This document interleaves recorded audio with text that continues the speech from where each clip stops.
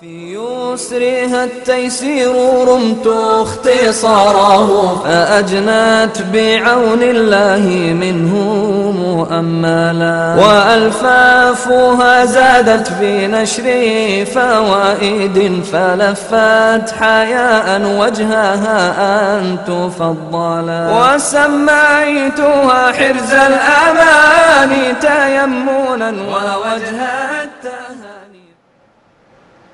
بسم الله الرحمن الرحيم. الحمد لله رب العالمين. حمدا يكافئ نعمه ويوافي مزيده. وأصلي وأسلم على معلم القرآن الأول سيدنا محمد رسول الله. اللهم صل وسلم وزد وبارك على سيدنا محمد وعلى آله وأصحابه الغر الميامين ومن تبعهم بإحسان ليوم الدين. أحبابنا أهل القرآن حياكم الله. نظر الله وجوهكم.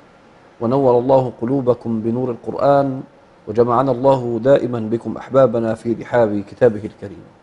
أهلا بكم أحبابنا ولقاء متجدد في رحاب حرز الأمان ووجه التهاني. وقفنا عند بداية فرش سورة النساء في المرة السابقة من قول الشاطبي رضي الله عنه وكوفيهم تساءلون مخففا والبداية عند ضيفي وضيف اليوم أخي وحبيبي الشيخ أحمد صبحي خضر. حياك الله يا شيخ أحمد. حياكم الله سيدنا بارك فيك طيب ابدأ يا شيخ أحمد يلا. وكوفيهم تساءلون مخففا سورة النساء. وكوفيهم تساءلون مخففا وحمزة والأرحام بالخفض جملا وقصر قياما عما يصلون ضم, صم ضم كم صفى نافع بالرفع واحدة جلا ويوصي بفتح الصاد صح كما دنا ووافق حفص في الأخير مجملا وفي أم مع في أمها فلأمه لدى الوصل ضم الهمز بالكسر شمللا. وفي أمهات النحل والنور والزمر مع النجم شاف واكسر الميم فيصلا. وندخله نون مع طلاق وفوق مع يكفر يعذب معه في الفتح إذ كلا. وهذان هاتين اللذان اللذين قل يشدد للمكي فذانك دمحلا. يا شيخ أحسن بارك الله. بسم الله الرحمن الرحيم. فرش سورة النساء. قال الشاطبي رضوان الله عليه وكوفيهم تساءلون مخففة. في أول آية في مطلع سورة النساء قال الله سبحانه وتعالى واتقوا الله الذي تساءلون به والأرحام. قرأها الكوفيون مخففة تساءلون به. وأصلها تتساءلون. والكوفيون يسقطون إحدى التاءين والتاءان المتقدمتان في أول آه هذا اللفظ تاء المفاعلة وتاء المضارعة. ويقرأوا بتاء واحدة ويسقطون الثانية تساءلون به. هكذا. أما غير الكوفيين يعني نافع وابن كثير وأبو عمرو وابن عامر يدغمون التاء الثانية في السين. واتقوا الله الذي تساءلون به والأرحام. قال وكوفيهم تساءلون مخففا. وحمزة والأرحام بالخفض جملا. وحمزة والأرحام واتقوا الله الذي تساءلون به والأرحام. على النصب هذه قراءة الجمهور وقراءة حمزة بالخفض. واتقوا الله الذي تساءلون به والأرحام. واتقوا الله الذي تساءلون به والأرحام. آه هذا من العطف. عطف اللفظ على اسم الله سبحانه وتعالى فيكون منصوبا على المفعولية واتقوا الله الذي تساءلون به واتقوا الأرحام يعني اتقوا الأرحام فلا تقطعوها. قال الله أنا الرحم وهي الرحمن شققت لها اسما من اسمي والحديث القدسي فيها معروف. طيب أما القراءة الجر هذه التي لحمزة؟ واتقوا الله الذي تساءلون به والأرحام. على العطف على الضمير. واتقوا الله الذي تساءلون به والأرحام يعني به وبالأرحام. والقسم المشهور عند العرب نسألك بالله وبالرحم. فكان قسما مشهورا عندهم أنهم كانوا يقسمون بالله ويقسمون بالرحم الذي تتصل به أنساب الناس. واتقوا الله الذي تساءلون به والأرحام يعني اتقوا الله الذي تساءلون به واتقوا الله الذي تساءلون بالأرحام أيضا. واعترض جماعة من النحاة وهم الكوفيون على هذه القراءة. قالوا إن هذه القراءة غير صحيحة عربية. ليه يا مولانا غير صحيحة؟ قالوا لأن الاسم الظاهر لا يعطف على الضمير إلا إذا تكرر فيه العامل. يعني واتقوا الله الذي تساءلون به. به الهاء في محل جر لدخول الباء عليها. إذا هذا ضمير. إذا أردت أن تعطف عليه اسما لابد أن تكرر معه العامل. فحرف الجر يتكرر مع الاسم أيضا. يعني به وبالأرحام.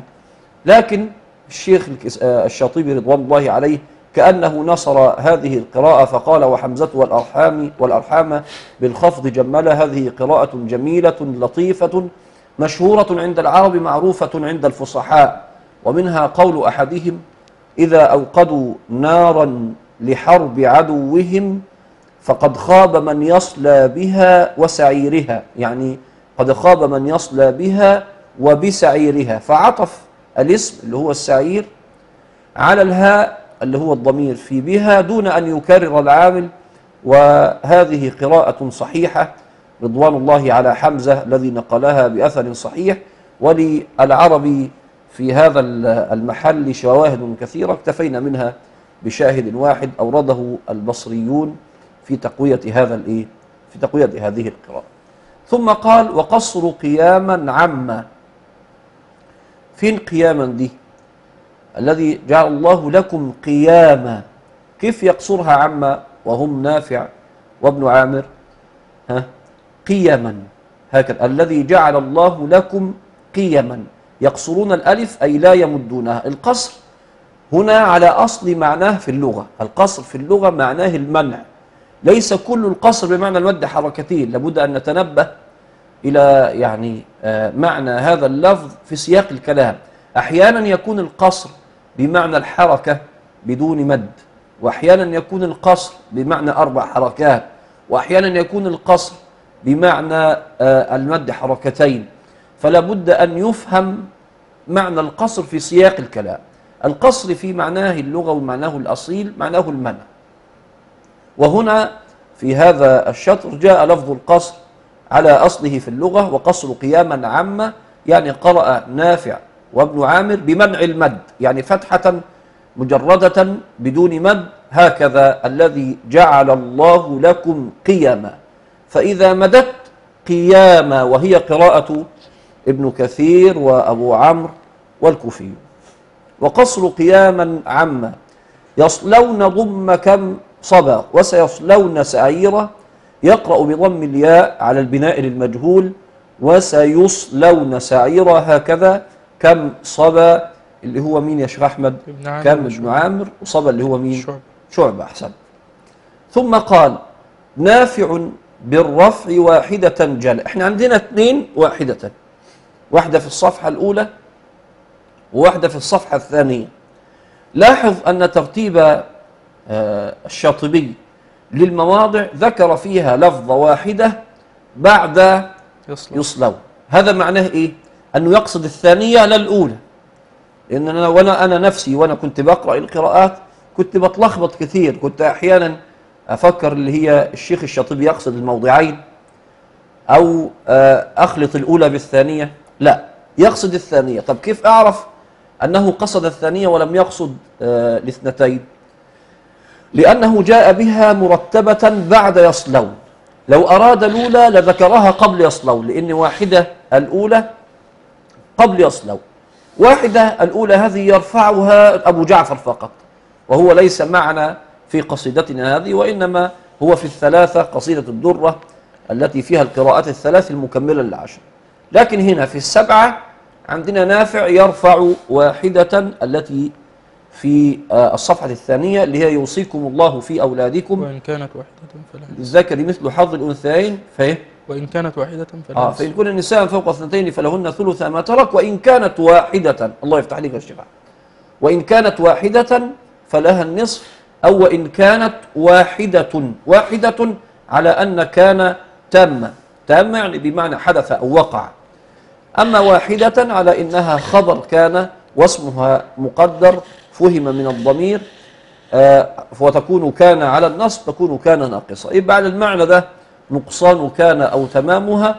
وهذا كثيرا ما ورد في خلاف القراء في الختمة أن تكون كان مرة ناقصة ومرة تامة ثم قال ويوصي بفتح الصاد صح كما دنا ووافق حفص في الأخير. إيه شيخ أحمد أنت قلتها؟ مجملة. مجملة. هكذا في نسخة الشيخ تميم الزعبي أطال الله عمره ونفع به المسلمين لكنها في نسخة الشيخ أبو شامة وفي نسخة الشيخ السخاوي وفي النسخ العتيقة التي قرأت على الشاطبي ووافق حفص في الأخير محملة.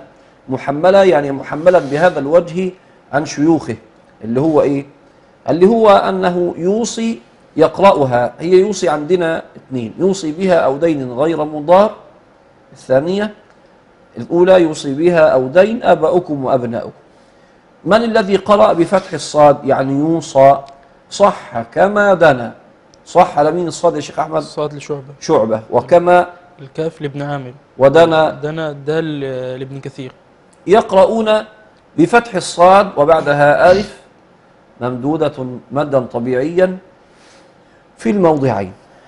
وحفص يقرأ معهم بالفتحة في الموضع الثاني. يعني حفص يقرأ في الموضع الأول بالياء يوصي بها أو دين آباؤكم وأبناؤكم والموضع الثاني يقرأها بالفتحة يوصى بها أو دين غير مضار وصية من الله.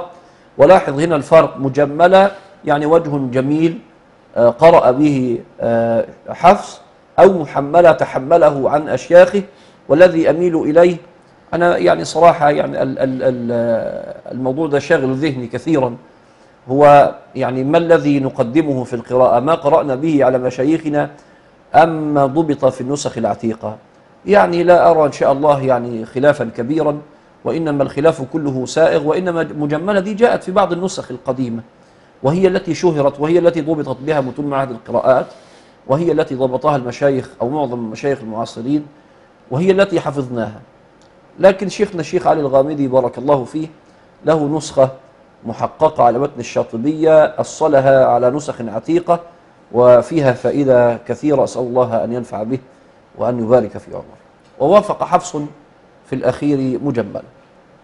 وفي أمي مع في أمها فلأمه لدى الوصل ضم الهمز بالكسر شمللا.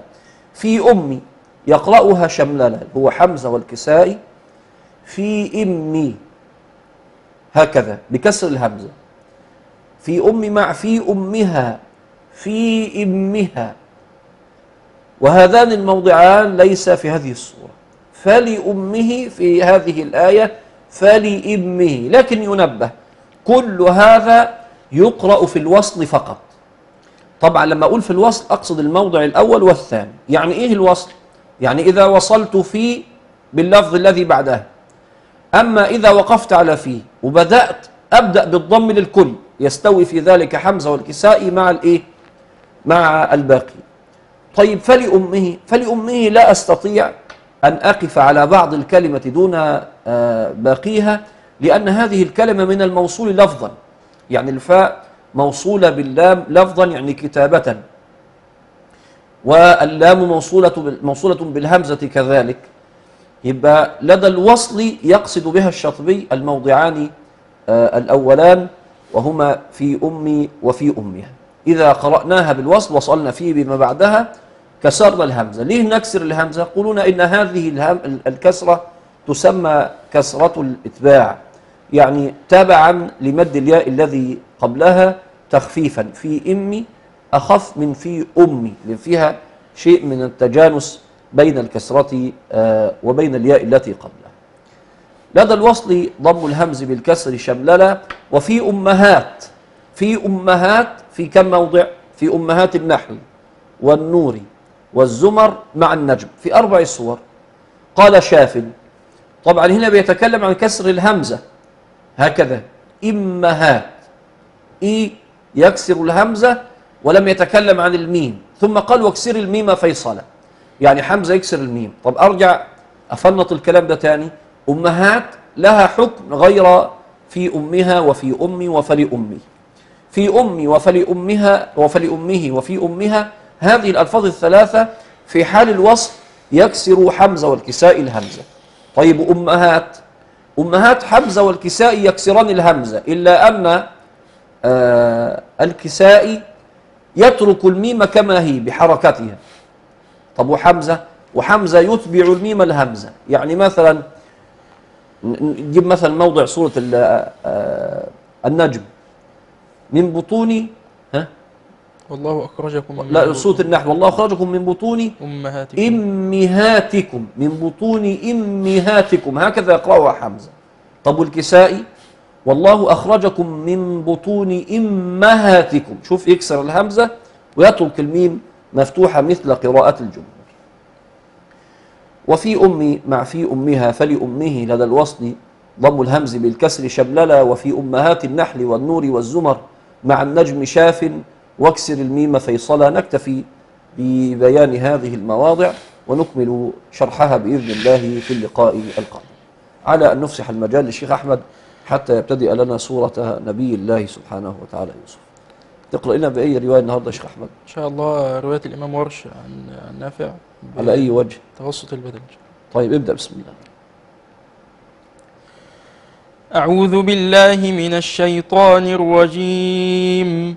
بسم الله الرحمن الرحيم ألف لام ر تلك آيات الكتاب المبين إنا أنزلناه قرآنا عربيا لعلكم تعقلون نحن نقص عليك أحسن القصص بما أوحينا إليك هذا القرآن وإن كنت من قبله لمن الغافلين إذ قال يوسف لأبيه يا أبت إني رأيت أحد عشر كوكبا والشمس والقمر رأيتهم لي ساجدين. قال يا بني لا تقصص رؤياك على إخوتك فيكيدوا لك كيداً. وضح التقليل في رؤياك أحمد. قال يا بني لا تقصص رؤياك على إخوتك فيكيدوا لك كيدا. إن الشيطان للإنسان عدو مبين. وكذلك يجتبيك ربك ويعلمك من تاويل الأحاديث ويتم نعمته عليك وعلى آل يعقوب كما كما أتمها على أبويك من قبل إبراهيم وإسحاق إن ربك عليم حكيم. لقد كان في يوسف وإخوته آيات للسائلين. إذ قالوا ليوسف وأخوه أحب إلى أبينا منا ونحن عصبة إن أبانا لفي ضلال مبين. اقتلوا يوسف أو اطرحوه أرضا يخل لكم وجه أبيكم وتكونوا من بعده قوما صالحين. قال قائل منهم لا تقتلوا يوسف وألقوه في غيابات الجب يلتقطه بعض السيارة إن كنتم فاعلين. قالوا يا أبانا ما لك لا تامنا على يوسف وإنا له لناصحون. أرسله معنا غدا يرتع ويلعب وإنا له لحافظون. قال إني ليحزن قال إني ليحزن ليحزنني أن تذهبوا به. قال إني ليحزنني أن تذهبوا به وأخاف أن يأكله الذيب وأنتم عنه غافلون. قالوا لئن أكله الذيب ونحن عصبة إنا إذا لخاسرون. فلما ذهبوا به وأجمعوا أن يجعلوه في غيابات الجب وأوحينا إليه لتنبئنهم بأمرهم هذا وهم لا يشعرون وجاءوا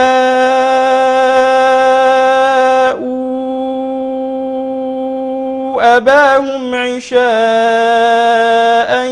يبكون قالوا يا أبانا إنا ذهبنا نستبق وتركنا نستبقوا اكسر بقى كويس.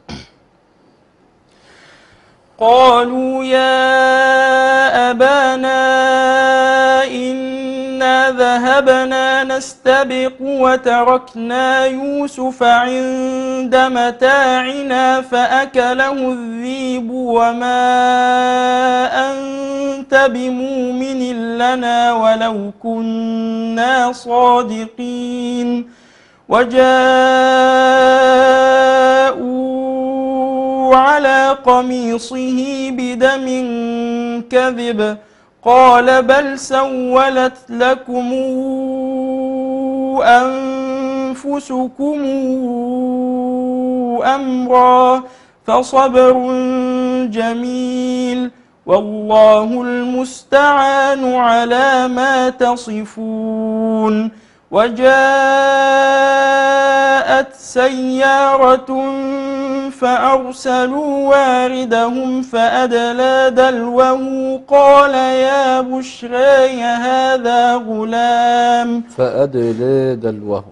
تقليل. فأدلى دلوه قال يا بشرى هذا غلام. وأسروه بضاعة.